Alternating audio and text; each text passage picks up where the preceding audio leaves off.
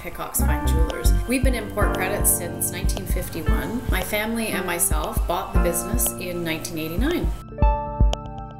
We love the town of Port Credit. Very nice, quaint little town to shop in.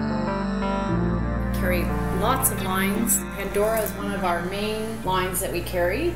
So you don't have to go to the mall, you can just come right here. I love Port Credit.